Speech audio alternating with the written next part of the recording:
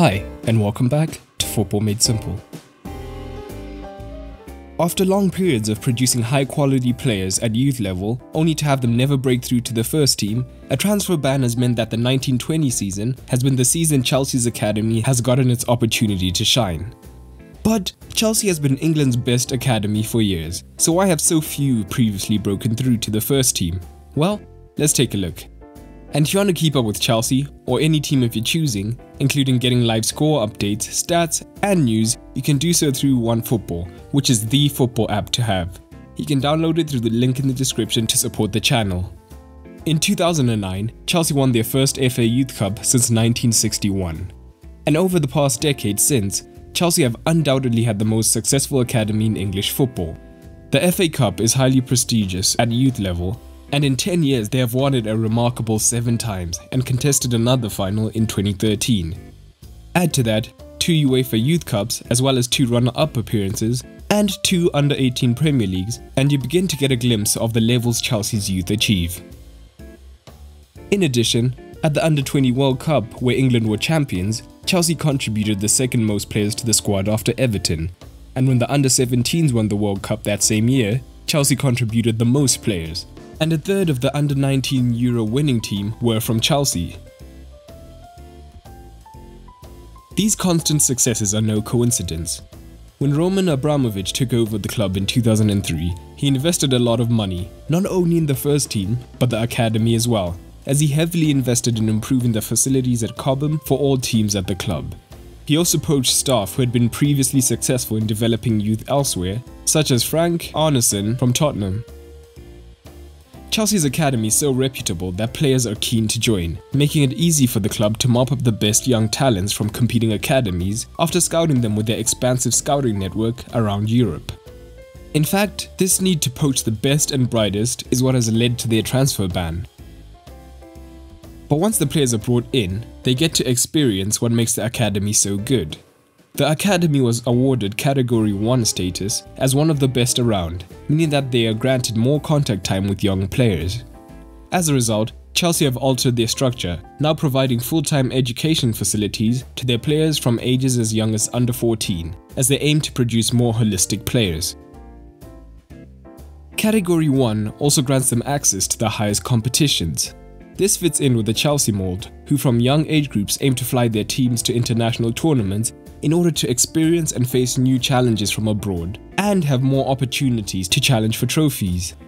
It's interesting to note that at Chelsea, there seems to be a bigger emphasis on winning at youth level, compared to most academies who focus on improving their players in a more process-oriented method.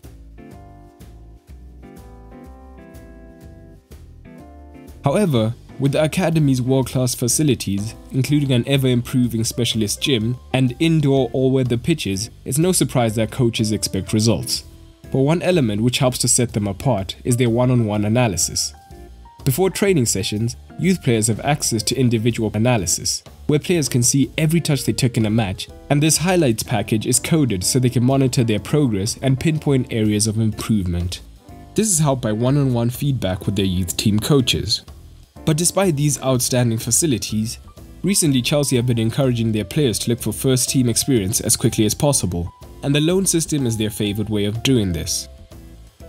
So, has this system of producing players bared any fruit? Yes, for the most part Chelsea's academy is successful at producing players. In 2018-19, Chelsea's academy graduates played the fourth most minutes of any academy in the Premier League, and the academy is consistently producing Premier League level players, with a few of the recent ones including Ake, Bertrand, Van Aanholt, Atsu and more. And in 2015-16, 10 out of the 72 Football League teams had loaned at least one player from Chelsea.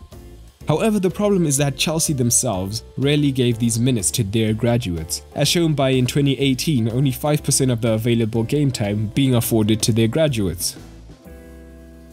This has been a major problem at the academy, since John Terry debuted in 98, there hasn't yet been an academy graduate to make a major and prolonged impact at the club. Although, to be fair, a lack of graduates is a problem faced by most elite teams around Europe. Either way, this has led to frustration around the club, as players have failed to make that final leap. Former academy coach Adi Viveash has expressed this, believing that Chelsea have had several players good enough to make the leap to their first team, but they just haven't had the chance. Even players like Charlie Musonda have gone on record to express their dissatisfaction with the current youth system. But why is this the case? Well, in his era, Roman Abramovich has had 14 managerial appointments in 16 years at the helm, and is renowned for being trigger happy. Integrating youth is usually a long term process requiring patience and accounting for a learning curve, and managers coming in know that they do not have the time to do this and rather buy ready made players. In addition, the more successful a team is, the harder it is for youth to break through, as seen by Barca's relative recent lack of graduates. And with Chelsea being one of the more successful teams in England, it means that their team is stacked with quality players who the youth have to try and displace. In addition, Chelsea do not have a coherent playing philosophy that extends from the youth team to the first team. At Barcelona, for example, all teams from under 19 through to the first team use a 4-3-3 with an emphasis on possession, positioning, and pressing so that a player can theoretically slot into any team and play their usual way. And while the youth teams at Chelsea may share these traits, the rapid change of manager and need to win now at first team levels means that when new managers come in, they're always bringing in a new style. So a graduate suited to Sarri's style of play would be completely different from what Mourinho would want or what Conte would want. A winger coming through playing a possession 4-3-3 at youth level would have had to adapt to being an inside forward or a wing back in a counter-attacking Conte 3-4-3, whilst trying to adjust to the higher level as well. So Chelsea's way around this is by loaning players out in order to give them game time and to develop. However, a criticism of the club has been the intent to loan in order to sell. The accusation has been that the club has deliberately stockpiled talent who never have a chance of making it in the first team to then either repeatedly loan them out, receiving a loan fee each time, or sell them on for a profit. And due to the fact that compared to their top 6 rivals, Stamford Bridge is relatively small, leading to less matchday revenue, they've had to develop other ways of generating revenue in order to comply with FFP. And in 2018-19, Chelsea had 42 players out on loan. However, Chelsea did not just ship off the loanees and hope for the best. Their loan department consists of two coaches, a dedicated physio, a dedicated strength and conditioning coach to monitor the progress of their on loan players. In addition, the club psychologist is also available to loanees, ensuring that they're in a good mental space when they're out on loan. The club's care for loan players has been acknowledged by Jamal Blackman, who says the club are always sure to make sure you feel like a part of the team. Chelsea do this because in an ideal world, they would want to reintegrate the loanees who excel. As Chelsea's head of youth development pointed out in 1617, the aim is to give the youth players 150 to 200 games of senior experience before reintegrating them into the squad around 22. And this season we see shades of that. Although they haven't necessarily hit the 150 game mark, the academy players who are likely to be integrated this season have mostly had extensive experience on loan, showing that this loan system can be a viable path to the first team, albeit under mitigating circumstances.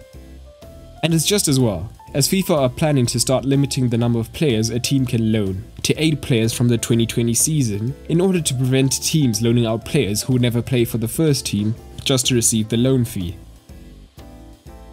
And this season, the combination of a transfer ban and a manager willing to put his faith in youth has meant that the academy has been on full display, with Abraham, Mount, Tomori, Christensen and more being given the time to both make mistakes and show what they can do.